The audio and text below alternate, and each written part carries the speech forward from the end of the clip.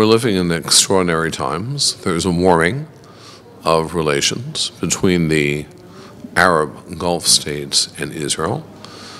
And one particular area where I think I've been very, very successful is making it clear to both Gulf leaders and to Muslim interfaith leaders that you cannot separate out Israel from Judaism. Meaning, Israel is not a 70 year old political reality for the Jewish people. Israel is at the very core, it's at the very center of Judaism, of our religion. So that, you know, asking to break out Israel from Judaism is like my asking uh, halal and Sharia to be broken out from Islam. So I've been involved, you know, with the Gulf states for close to 12 years. And 10 years ago, I would hear comments, you know, rabbis, we have nothing against Jews.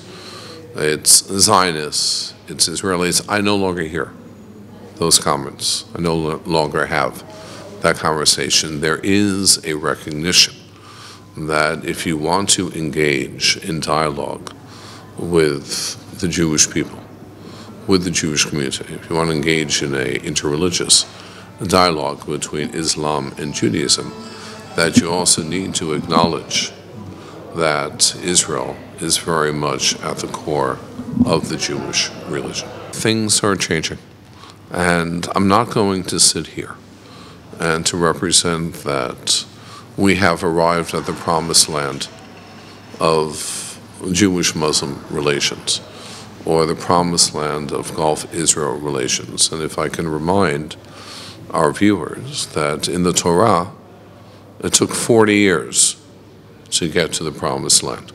I'm not suggesting that it will take that long to get to the promised land in terms of relations between Israel and the Gulf. But the wonderful news is that the journey has begun. And it's a journey that's moving in a very positive direction today. The fact that even in the Gulf, I've been asked by different leaders from Bahrain, from Qatar, from the United Arab Emirates, to assist them in helping to build a Jewish life in the Gulf. You know, for example, in Bahrain, there's a Jewish community. It's a small Jewish community. But I've been asked by the King of Bahrain to help not only preserve the Jewish community, but to help grow the Jewish community. And what would it take to grow the Jewish community? These are all very, very positive developments along the journey, discussions that would not have taken place 10 years ago, five years ago, even two years ago. They want peace with Israel, they want a connection with Israel. They very much desire establishing relations with Israel. Most people believe that their primary reason is the existentialist threat coming from Iran. I would make that reason number two. Number one, what I hear from most Gulf leaders, whether it's you know from Saudi Arabia, whether it's from Qatar and others, that the primary reason is economics. And I've heard comments that with our wealth and Israel's brain trust, with Israel's technology, we could develop together the most powerful region in the world. My work focuses on the six Gulf states that's Saudi Arabia, United Arab Emirates, Bahrain, Qatar, Oman, and Kuwait. I'm prepared to uh, suggest or to predict that in the year 2019, you're going to see either one or two Gulf states, Arab Gulf states, establishing relations with Israel. I do believe the first Gulf state will be the Kingdom of Bahrain. The King of Bahrain, consistently, at least since I've known the King for seven and a half years, has consistently made pronouncements in support of Israel. Uh, just last week, the Foreign Minister of Bahrain applauded Israel for cleaning out the tunnels in the north. And uh, just a few days ago, the Foreign Minister of Bahrain tweeted his support for Australia for recognizing West Jerusalem as the capital of the State of Israel. So you see that the Kingdom of Bahrain has been very, very consistent in supporting Israel and wanting to establish diplomatic relations with Israel. In Bahrain, you have a very tiny Jewish community of 37 Jews. Uh, it's the only Gulf state that has an official synagogue, and uh, the king would very much like to see that community grow.